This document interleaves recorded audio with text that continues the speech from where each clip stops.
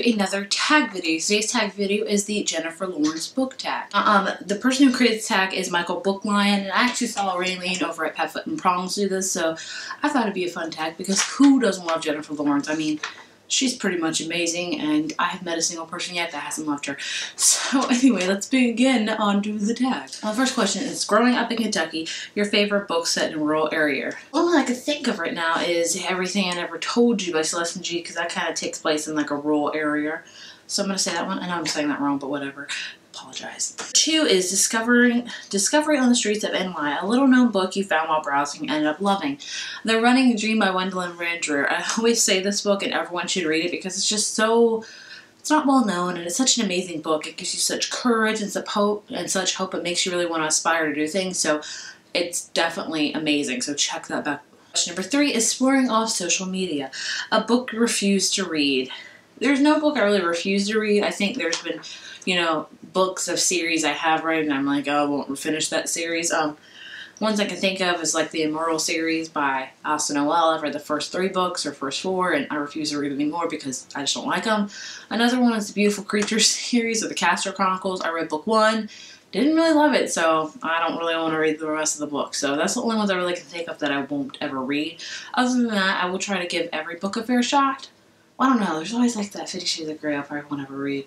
I don't know. Question number four, beginnings on TV into film, a series that gets better with each installment. Um, Harry Potter. Harry Potter truly gets better with each installment. Uh, also, the Darkest Minds trilogy. And I've still not finished that trilogy, but it gets better with each of them, and I'm still finished the third one. But I bet it's amazing, so I feel safe answering that. Question number five is The Oscar Trip, a book slash series that hit a snag. And this is just my personal opinion, these two I picked out. Um, for the first one, I picked The Selection by Kiera Cass. I really liked the first one, and then it kind of hit a snag for me. I didn't really love it so much. I really didn't like the main characters of the series, so I'm going to say that one. And honestly, being honest, I'm going to say the Fifth Wave series.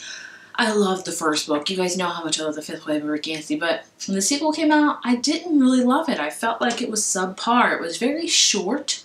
I didn't really feel like a lot happened, and I just wasn't in love with it. So I'm really hoping the third one will rise back up, and so hopefully I can take that off this. But for right now, it's hit a huge snag for me, a bump in the road, if you will.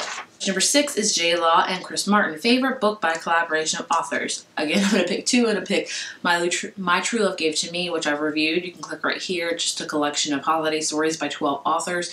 Also, Let It Snow. That's by John Green. Who else is I always forget who, else who that's by, but those are my two favorite ones. Number seven, work with David O. Russell, dysfunctional character you can't help but love. For that one, I'm going to say Warner from Shatter Me. If you've read the trilogy, you will know why. Number eight is Mystique, a villain who thinks what they're doing is right. And this one is kind of a tricky one, so I picked I just picked the Maze Runner trilogy because if you haven't read it, you wouldn't understand this answer, but if you did, you will know.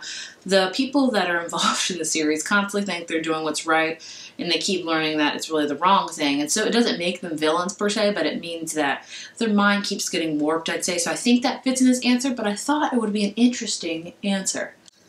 Let me know if you agree. Number nine, The Hunger Games, favorite high profile series. The Hunger Games, and Harry Potter. Those are my two favorites. And the last question is everything she's ever said. Favorite comedic slash snarky character? Fred and George Weasley, because they're seriously comedic. They're amazing. That was the Jennifer Lawrence book tag. Um, feel free to do the tag. And that's all for me, and I will see you guys later. Before you go, please check out all the links I have. Be awesome. I have links to book blogs and all that kind of stuff, so definitely check those links out before you leave.